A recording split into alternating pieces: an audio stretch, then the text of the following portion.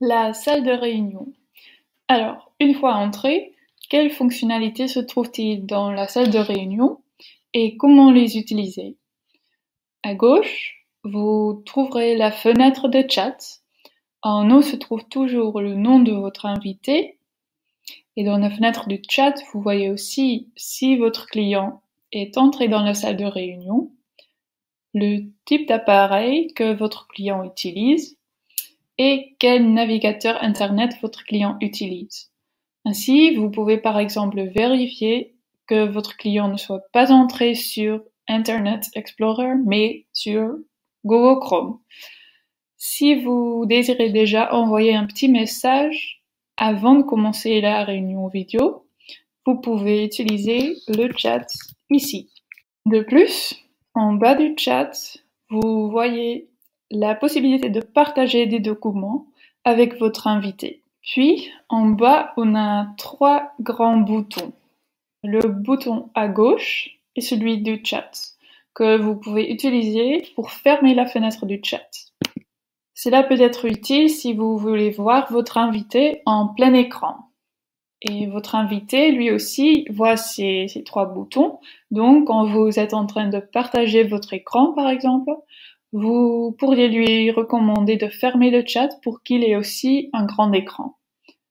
Si vous envoyez un message dans le chat, mais vous n'êtes pas sûr si votre client a ouvert la fenêtre du chat, euh, vous inquiétez pas, le chat s'ouvrira automatiquement.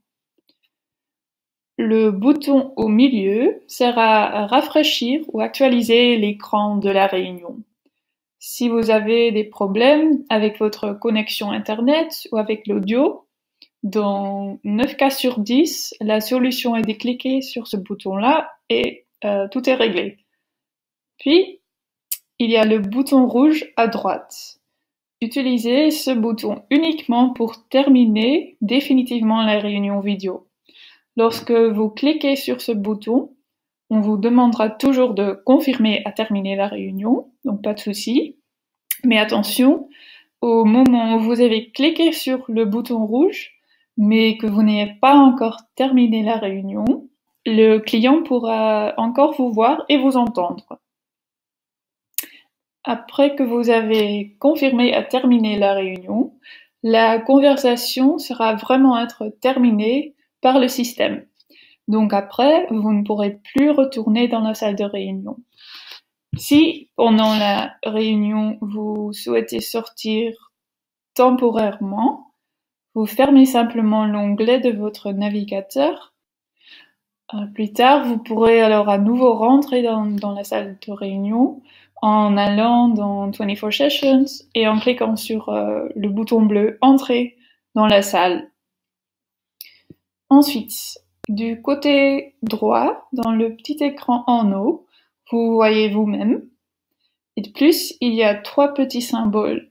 La caméra, cliquez euh, sur ce symbole pour désactiver et activer votre caméra ou votre webcam. Il y a le microphone. En cliquant ici, vous pouvez désactiver ou activer votre microphone ou vos haut-parleurs. Et il y a les paramètres de la caméra et du microphone. En cliquant sur ce symbole pendant la réunion, vous pouvez vérifier et modifier euh, la caméra et le microphone si nécessaire. Puis, il y a cinq fonctionnalités de plus à droite de votre écran. En cliquant ici, vous pouvez commencer ou arrêter euh, l'enregistrement de la réunion. Et si vous voulez inviter à quelqu'un d'autre, cela est possible aussi. Vous cliquez alors ici sur inviter un hôte et vous entrez l'adresse email ici. Et pour finir, si vous souhaitez voir votre client en plein écran, cliquez ici pour la mode plein écran et pour la fermer. Voilà, c'est tout. Euh, dans les vidéos suivantes, on expliquera les fonctionnalités du partage d'écran et d'audio par téléphone.